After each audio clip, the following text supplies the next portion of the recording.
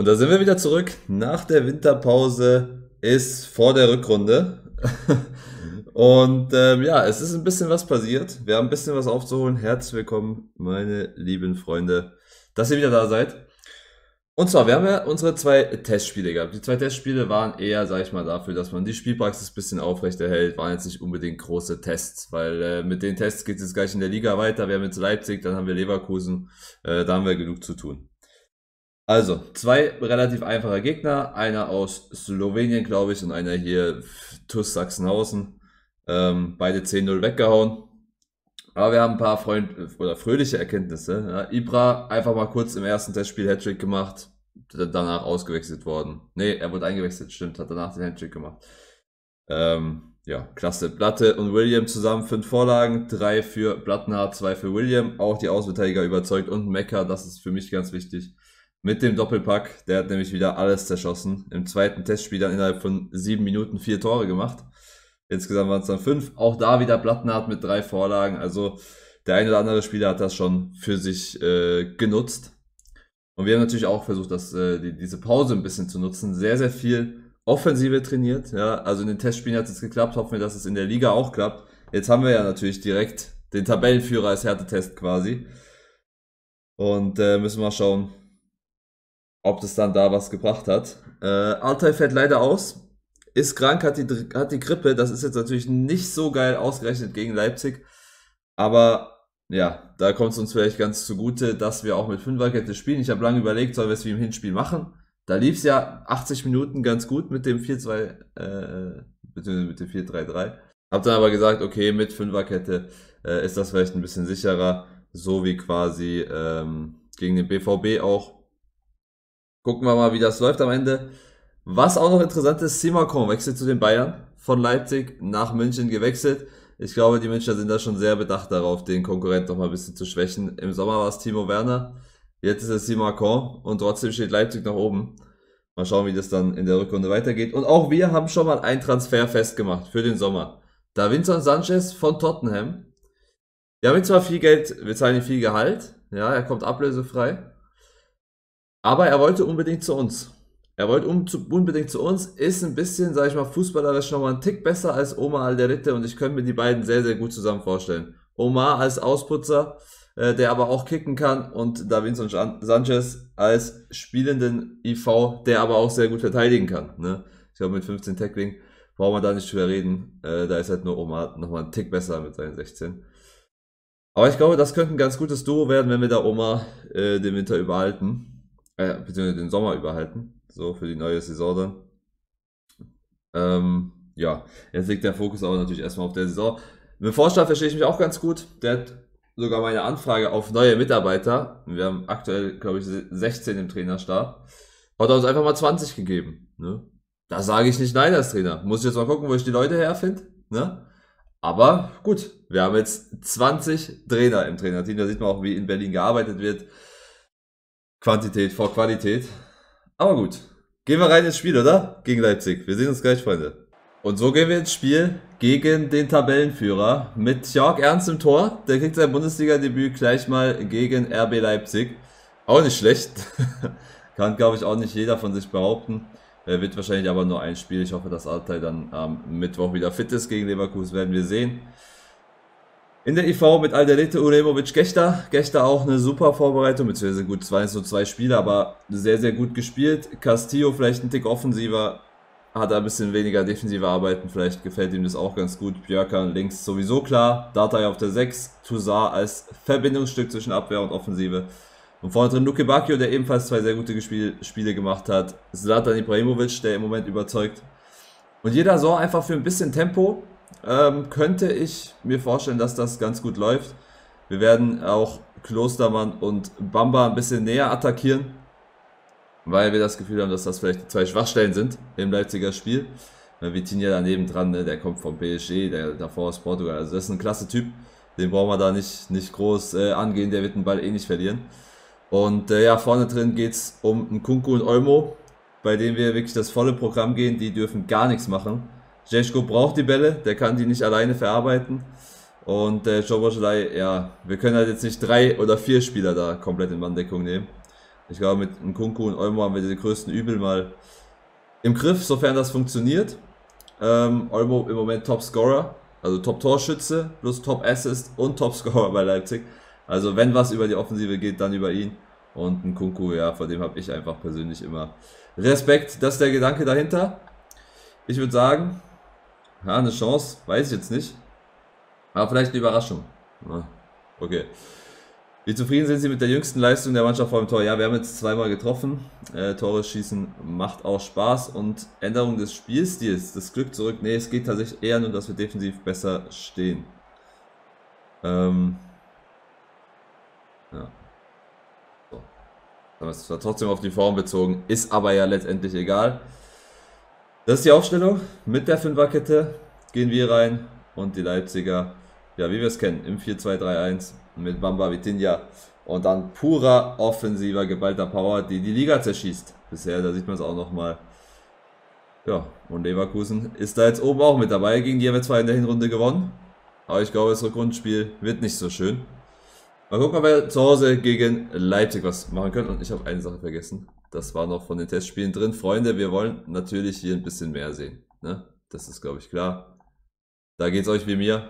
Also, rein geht's. Aktuelle Spielstände sehen wir Testspiele. Das ist wunderschön. Ich würde lieber die Bundesliga dabei sehen.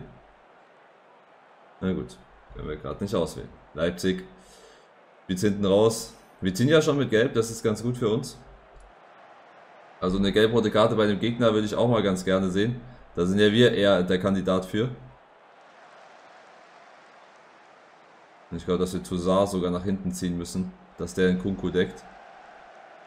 Aber da müssen wir aufpassen. Olmo. Ne? Jetko kriegt den Ball nicht zu Olmo. Und er mit dem Fehlpass. Gechta macht den Ball fest. Und Ernst haut ihn raus. Ibra macht ihn fest. Luke Bakio. Ne. Vitinha passt auf. Bunko auf Sheshko. Drüber. Ihr wisst natürlich auch jetzt klar mit unserem Keeper, ne? Da kann man, kann man ruhig mal aus der Distanz schießen. Und jetzt muss ich nur gucken. Er hat ihn nicht, dann nimmt er mal einen Kunku fest bestimmten Spielerdecken Christopher Nkunku und genauso geht Björkan auf Olmo.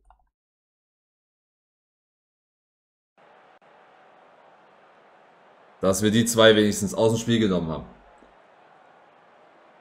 So, wir haben auch schon einen Torschuss, ne, einen Schuss mit 0,00 XG.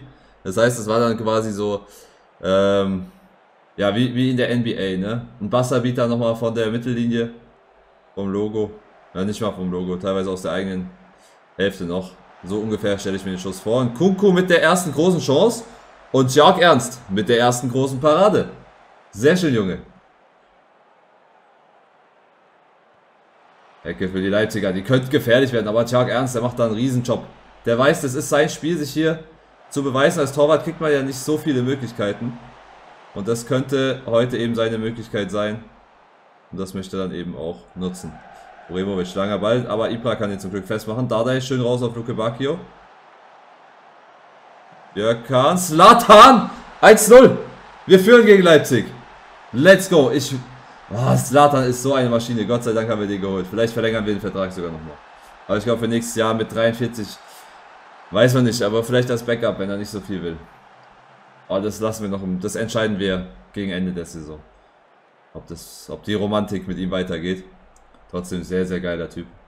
Ein Weltstar für Berlin. Für den Big City Club. oh, und jetzt hat er was abbekommen. Wurde da umgetreten. Klar, da ist er natürlich. Leipziger versuchen natürlich auch mit allen Mitteln gegen ihn zu kämpfen. Wir spielen trotzdem hinten raus. Das gefällt mir. Tjag Ernst. Uh, riskanter Ball. Uremovic macht es dann lieber sicher. Aber Slatan gewinnt halt die Kopfballduelle da vorne drin.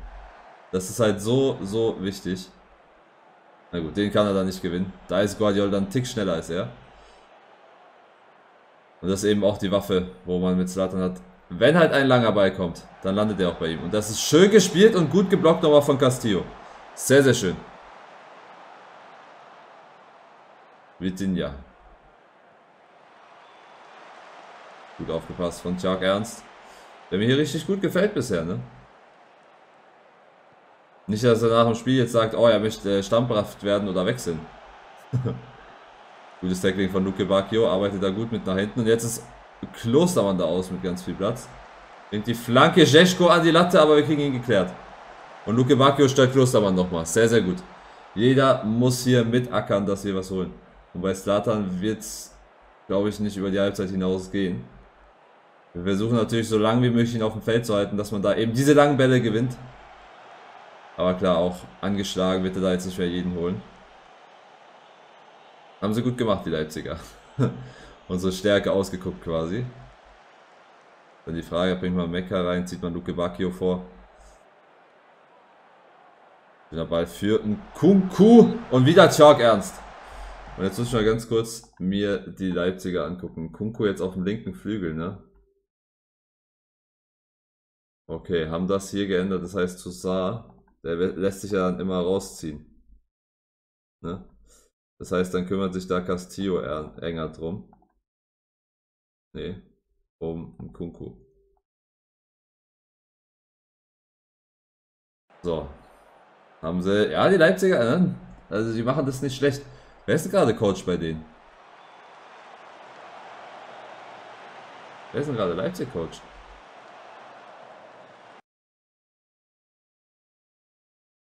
Immer noch Marco Rose, okay. Nimmt man gar nicht an, ne? Bei so einem Rose. Aber mit Leipzig scheint es zu funktionieren, ne? Na gut, wir führen 1-0. Klar, Leipzig die bessere Mannschaft, logisch. Aber hinten stehen wir ganz gut. Jeder Sor hat seine Probleme. Auch Luke Bacchio kommt da nicht so ins Spiel. Ich würde trotzdem sagen, ich bin sehr zufrieden.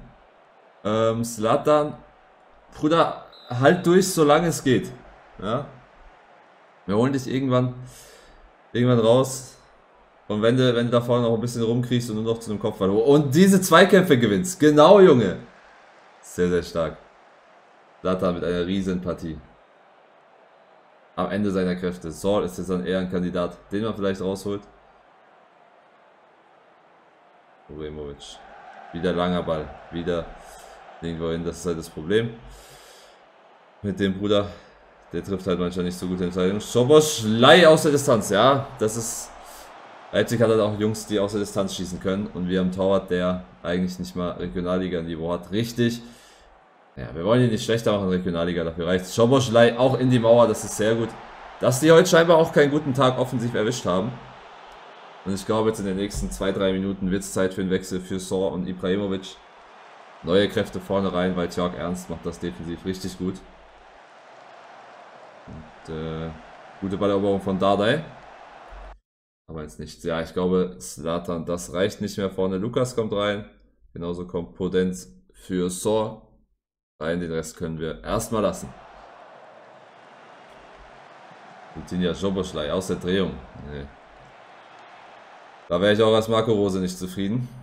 Naja, ein guter Slatan verlässt das Feld und ein Sor, der gar nicht in Erscheinung getreten ist. Ich weiß gar nicht, ob er den Ball überhaupt mal hatte. Jetzt mal Björkan. Und der hat auch einen gewissen Offensivdrang. Versucht da alleine. Ball bleibt dann aber trotzdem bei uns. Toussaint für Luke Bacchio. Ui. Also das äh, hätte eine kleine Vorentscheidung sein können, wenn man das 2-0 macht. Und scheinbar machen wir auch ein bisschen Druck gerade. Jota. Potenz weiß nicht ganz genau, wo er rumlaufen soll. Vielleicht mal zum Linksverteidiger. Würde zumindest zu deiner Position passen, mein Lieber. Oberschlei, oh, klasse Pass für Scheschko und den macht er. Den macht er. Traumhaft gespielt von Leipzig. Ah, wo hat es da gefehlt? Dardai war nicht eng genug am Mann. Ja. Schade.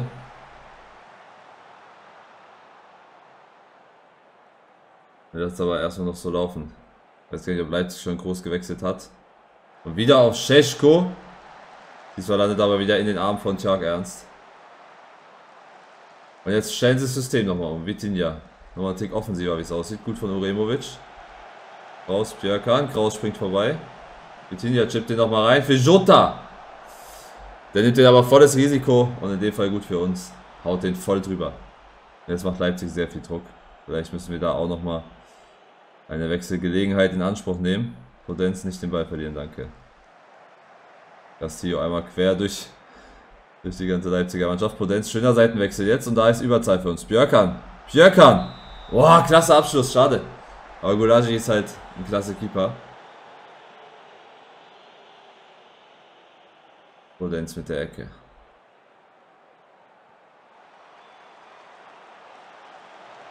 Unter Chance Vitinha. Alleine wird er nicht viel anrichten können. Die Frage ist jetzt, wenn sie nachrücken. Wenn die Reserve vorrückt quasi. So. Raus mit dem langen Ball. Oh, klasse. Viel Platz für Raum. Nur nicht flanken lassen. Scheschko gewinnt das Kopfballduell. Und ich glaube, es wird Zeit für den nächsten Wechsel. Offensiv nochmal Ben Stardai für Luke Bacchio. Und ähm, ah, der Rete gestern nicht, nicht gut. Vielleicht auch zu Saar raus. Bringen wir Suat nochmal rein. Kann ja zeigen gegen den Club, der im Sommer an ihm interessiert war. Wo es dann aber nicht funktioniert hat. Ob er vielleicht auch noch ein Kandidat ist für nächsten Sommer. Zu Saar jetzt auch mit Ballverlust, deswegen wollten wir ihn rausholen. Raus, chippt den Jeschko und Jörg Ernst hält hinten dicht. Sehr, sehr stark. So, Wechsel sind jetzt auch vollzogen, endlich mal. Gutes Tackling von Castillo. Weil der Lette, das können wir eigentlich rausspielen. Sehr da. Schöner Seitenwechsel. Ben Stardai. Komm, geh vorbei, Junge. Martin. Suat. Ah. Schade. Hat uns da jetzt eigentlich mal ganz gut rausgespielt. Also wir haben auf der linken Seite tatsächlich, äh, wenn Björkan mit vorgeht, haben wir da immer gut Überzahl. Das ist gar nicht mal so schlecht. Kraus jetzt der lange Ball für Jota. Abgeblockt und wieder einer für Ernst. Jetzt die Frage, wo könnte man einen letzten Griff machen? Wo kann man vielleicht nochmal ein bisschen was rausholen? Aber ich glaube, die Möglichkeiten haben wir da jetzt gar nicht mehr. Wir bringen nochmal Plattenhardt. Wir Björkern, weil der eben sehr erschöpft ist. Und weil wir vielleicht dann nochmal eine gefährliche Flanke bekommen. Auch wenn die Lukas vielleicht nicht ganz so gut verarbeitet wie ein Slatan. Vielleicht haut sie trotzdem hin. Aber erstmal kriegt Leipzig eine gefährliche Flanke, aber das sah für mich nach Abseits aus. Ich glaube schon. Ja. Richtig so, Zezko bewegte sich im Abseits. Das ist in Ordnung. Ja, Leipzig ist schon sehr, sehr, sehr überlegen. Klar, wir zittern da uns schon ein bisschen. Ja, eigentlich, eigentlich seit unserer 1 Führung zittern wir hier rum. Es gibt nochmal einen langen Freischuss. Olmo landet bei Ernst. Der macht's schnell. Aber da vorne ist niemand. Wo wollt ihr den denn hinhaben? Junge. Dann nimmt auch ein bisschen Zeit von der Uhr wenigstens. Naja. Uremovic auch lange überlegt mit der gelben Karte. Sehr, sehr gut. Oh, Ben Starda ist immer Fehlpass. Jota, Jeschko und Gechter mit Foul.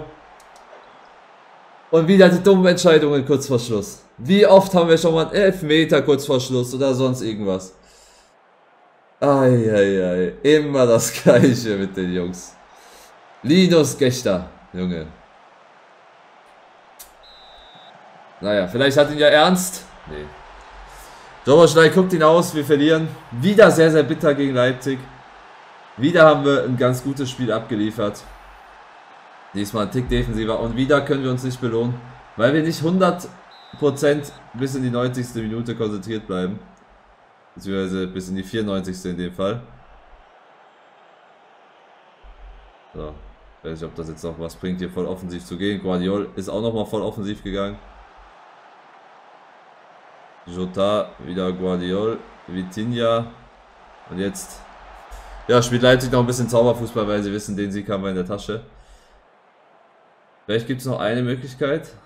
Ne, Jog Ernst. Jetzt macht das Zeitspiel. Davor hätte das nicht machen sollen. Er hätte das machen sollen, der macht das nicht. Oh, Mecker nochmal.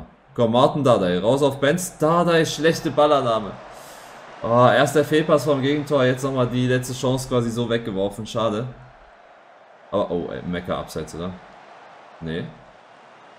Komm, nochmal vor. Nee. Reicht nicht, schade. Reicht nicht. Vielleicht hätten wir Ibra auch nicht rausholen sollen. Vielleicht hätte der durchspielen müssen. Na so, Luke Bacchio auf Außen ein bisschen wenig. Toussaint, Björka ganz gut, klar. Gestern dann doof mit dem Elfmeter. Auch wenn er schon davor nicht sein bestes Spiel gemacht hat. Der war eigentlich gut. Mecker auch. Ja, Mecker ist wieder in Wettbewerbsform, sagen wir mal so. Aber trotzdem würde ich sagen, auch wenn es nicht sollen sein, der Einsatz war okay. Gut war er jetzt nicht. Ne? Ähm, man hat ein bisschen schon zu viel zugelassen, ein bisschen mehr zugelassen, als ich erhofft hatte. Wenn man das jetzt hier mal sieht mit 23 zu 10 Schüssen, geht absolut in Ordnung von den Statistiken her.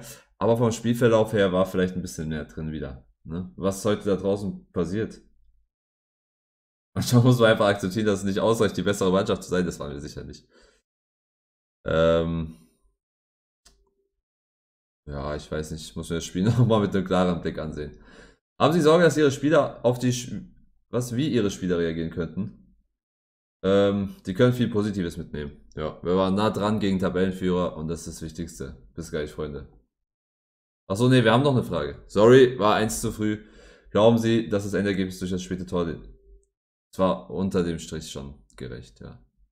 Gut, jetzt bis gleich, Freunde. Und hier sehen wir uns zum Rückblick auf die aufs Fußballwochenende quasi. Die Leverkusener verlieren 1 gegen Köln. Das könnte ein ganz gutes Omen für uns sein. Verlieren wichtige Punkte im Meisterschaftsrennen. Die Frankfurter gewinnen 2-1 dafür gegen Gladbach. Gladbach, die sich jetzt echt aufraffen müssen. Collado sieht man da zwar immer mal wieder in den Spielberichten, dass er da ordentliche Spiele macht, aber es scheint nicht zu reichen. Wir ganz spät und ganz traurig verloren gegen Leipzig.